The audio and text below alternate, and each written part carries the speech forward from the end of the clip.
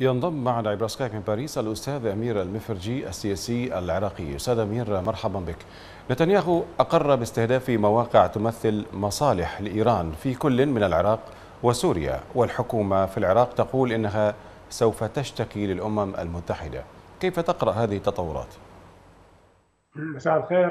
تحياتي لكم ولمشاهدي قناة الرافدين. أهلا بك. أه ما يقال من قبل الحكومة العراقية وعلى لسان السيد رئيس الوزراء هو ليس إلا يعني كذر الرماد في العيون.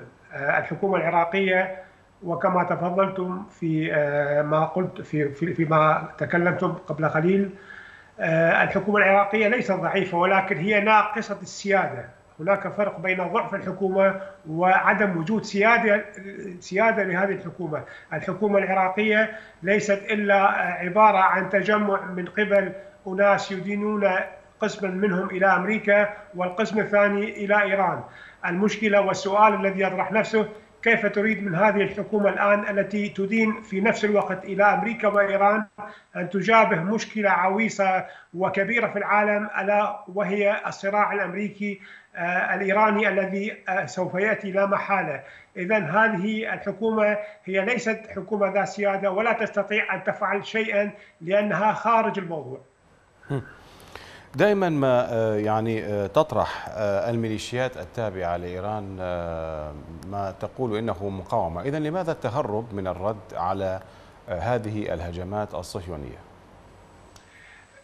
يجب أن نأخذ المشكلة العراقية انطلاقا من المشكلة الموجودة الآن بين الولايات المتحدة الأمريكية والنظام الإيراني في طهران المشكلة أن إيران تستعمل وكما يعرف الكثيرون تستعمل أذرعها في العراق في لبنان في اليمن لمجابهة التهديد الأمريكي الذي يعني صمم أن يقطع سياستها الاستعمارية وسياستها الفوضوية في الشرق الأوسط وخصوصا حصولها على السلاح النووي.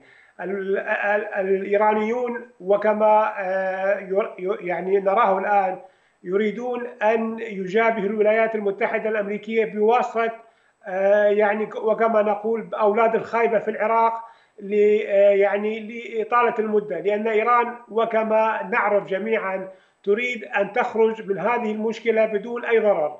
هي تريد أن يعني تدفع المشكلة إلى الانتخابات الأمريكية القادمة ولانها تعول على استبدال الرئيس الأمريكي ترامب في الانتخابات القادمة. اذا ما تعمله كمثال في العراق هو لإطالة الوقت ولإستعمال هذه يعني الميليشيات ذكرت ولكن نعم. هي لا.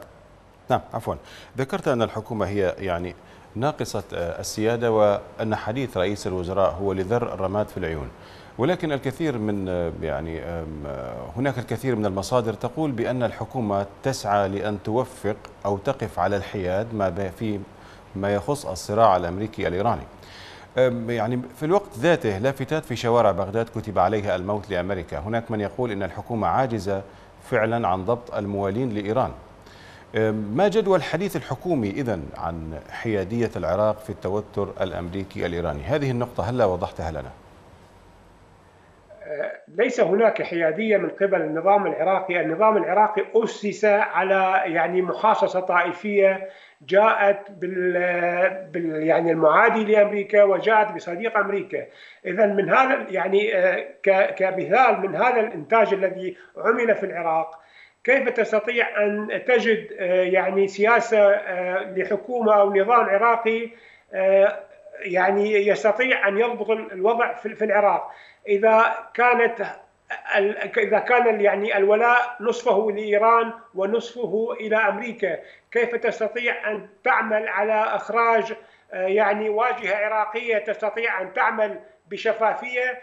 إذا كانت أغلبية النخبة العراقية التي جاءت بها أمريكا وإيران ليس لها القابلية وليس لها الخبرة في السياسة الدولية خصوصا وأن الصراع الأمريكي الإيراني هو صراع من يعني من طراز متقدم والعراقيون الذين جاءوا في السلطة هم ليس سوى أناس جاءوا بناء على ذلك على الغنائم. بناء على ذلك أستاذ أمير المفرجي مجلة فورين بوليسي أكدت أن العراق أصبح ساحة حرب للأجانب بعد الضربات الجوية ضد ميليشيا الحشد.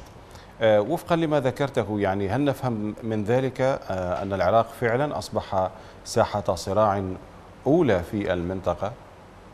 شيء طبيعي إيران تعتبر العراق كحديقة خلفية لما حدث وإيران بنت ترسانتها السياسية والعسكرية منذ 2003 لحد الآن العراق عندما أسقطه الأعداء ولم يأتي الأشقاء بعمل شيء استطاعت إيران عن طريق العباءة الطائفية الدينية المذهبية للتغلغل في داخل الجسم العراقي والذي مع الأسف يعني أمريكا وكما ادعت سوف نعودكم نعود بكم إلى القرون الوسطى. استطاعت إيران من قبل يعني العباءة الدينية التي أرجعت العراق إلى الحروب الدينية إلى الطائفية بين الشيعة والسنة.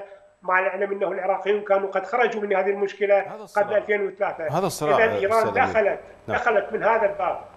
كيف سيؤثر ذلك كله على المشهد العام في العراق؟ لا شك إن المشكلة العراقية ستبقى إلى يعني مدة نستطيع أن نقول بها بانتهاء الصراع الإيراني الأمريكي لأن الحكومة العراقية لست لن تستطيع وعندما أقول الحكومة العراقية النظام العراقي والعملية السياسية لا تستطيع أن تصمد في ظل صراع يعني كبير بين القوى العظمى في العالم. يجب أن نعلم بأن العراق منذ 2003 دخل في عالم متعدد الأقطاب. هناك حروب دولية وصراع على ثروات العراق من قبل الولايات المتحدة وأوروبا في نفس الوقت. هناك عدم اتفاق على مستقبل العراق من قبل الأوروبيين كفرنسا وألمانيا مع الولايات المتحدة وهذا ما نراه في مؤتمر الجي 7 الذي عقد طيب. في في أستاذ عبد الأمير أستاذ أمير مفرج يعني هناك سؤال يعني لربما يدور في خلد المشاهدين. نواب اكدوا أن حكومة عبد المهدي تعلم بالخطة الأمريكية لحل ميليشيا الحشد فيما لو استمرت الولايات المتحدة في تنفيذ هذه الخطة كيف سيكون يعني موقف الحكومة حكومة عبد المهدي؟ أنا في نظري وكما قلت سابقا أن حكومة السيد عادل عبد المهدي هي حكومة تصريف أعمال. وقد جاءت لمدة معينة أريد منه, منه أن يكون في هذا الوقت نظرا لعلاقاته الطائفية بالوضع العراقي الجديد وعلاقته مع إيران وكذلك علاقته بأوروبا والغرب بصورة عامة. نشكرك شكرا جزيلا أستاذ أمير المفرجي السياسي العراقي كنت معنا عبر سكايب من باريس.